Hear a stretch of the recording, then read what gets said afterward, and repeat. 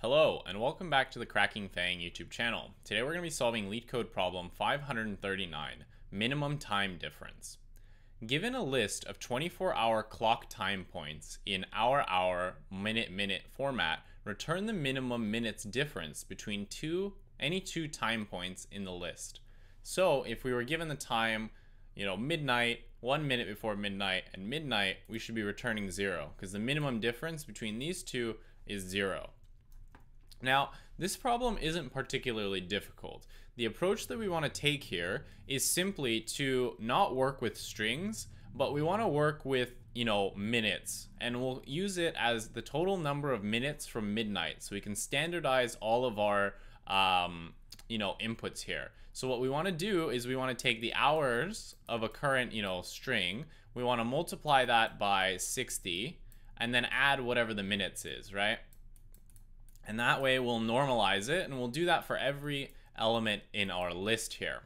Then what we want to do is once we've done that, so for this value, let's just say it's going to be, you know, um, 0 and then, oh boy, what is uh, 23 times 60? That's, um, and then plus 59. Okay, so it's going to be 1439 and we're looking at zero here.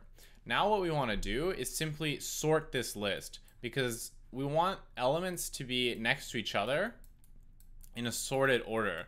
That way, two elements that are next to each other will be like, uh, the distance will be as small as possible between them. And what we want to do is check all possible distances between two elements and check whether or not, um, you know, we have a solution there.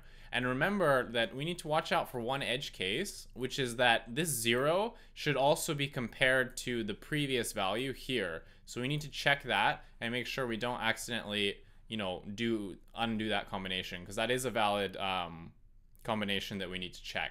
So that's the solution here that we want to go with. And we're going to keep track of the minimum distance we've seen and simply return that. So remember, the first thing that we're going to do is convert these strings into the, I guess, minutes past midnight we're going to sort the array, and then we're simply going to take the difference between two consecutive pairs and try to find whatever the minimum difference is. So hopefully that makes sense. If it doesn't, once we go into the code editor and you actually see what we're going to do, it should start making a lot more sense. So let's go to the code editor. Back in the code editor, let's write the code. Remember that we need to change time points from being strings into integers representing the minutes past midnight. So we're going to say for i time in enumerate time points.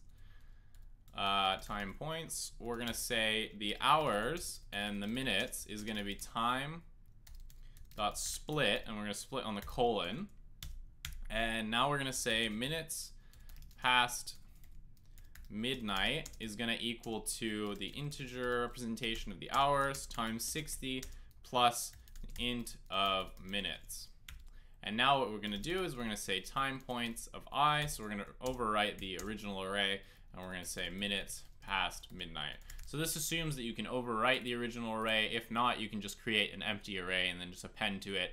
Um, I'm just going to overwrite it here. It shouldn't really matter. You can ask your interviewer if you can do this. If not, just create a new array. It's not a big deal. Uh, now what we want to do that we've transformed our array to be the integer values, we want to sort our time points. So we're going to say time points dot sort and what we need to do now is we need to set up our result. So we're going to say res, and here we need to account for the fact that once we sort, uh, remember how I said we had to handle the wraparound, right? We had that case where we had something like 0, and then we had 1439. And we need to handle the wraparound of 1439 and 1. And if we simply did the subtraction, we would get, you know, the wrong value because we would get a minus value. And actually we need the the difference is actually only one minute between midnight because midnight is technically 1440 but since we're representing it minutes since midnight then we need to consider it as zero since everything is normalized that way. So we need to you know return reality at 1440 minus 13, uh, 1439 to return 1 when we have you know 0 and you know, one minute before midnight instead of, you know, zero minus this, in which case we would get the wrong answer. So we have to normalize for that um, as our initial value. So we're going to do that in the beginning to make sure that um, we account for that wraparound that we need to do for the last element and the first element. So the way that we're going to do that is we're going to say the total number of minutes in a day uh, plus time points of 0 minus time point, so the last element here. And this is going to handle us actually taking care of that first and last element and making sure that our value doesn't actually come back negative. So that's why we're adding in the 1440 to account for the fact that the time points of minus 1 is obviously going to be greater than the time points of 0.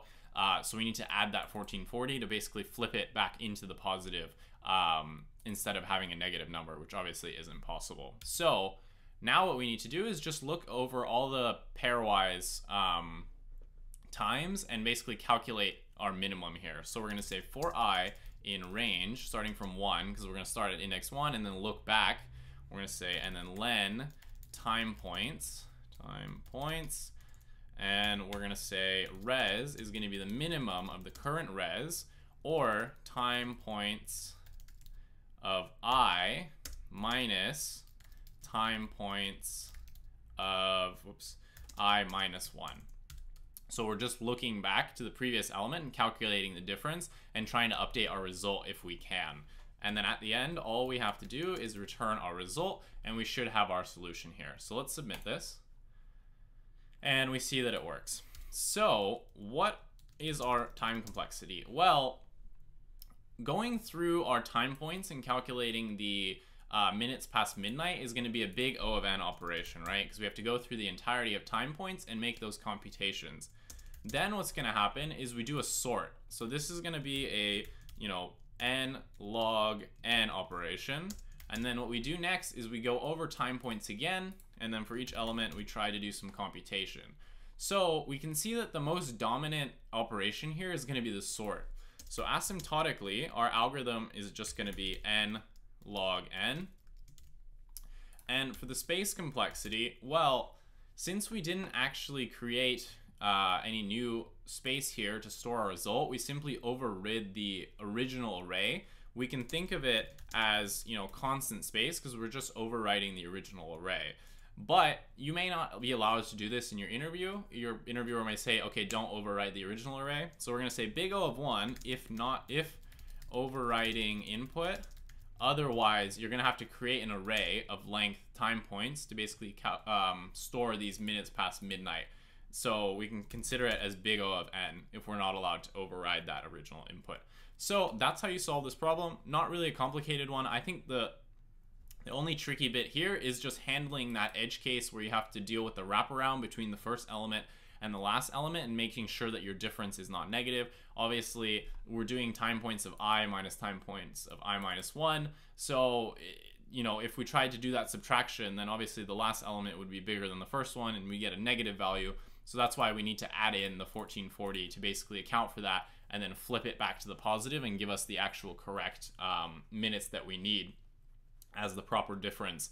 So once you handle this, the rest of it's really straightforward. You're just looking at all the, the pairwise uh, times and trying to find the smallest difference possible. So that's going to be how you solve this problem. If you enjoyed this video, please leave a like, comment, subscribe. If there's any videos or topics you'd like me to make, please leave them in the comment section below. I'll do my best to get back to you and make the videos. And in the meantime, happy coding and bye.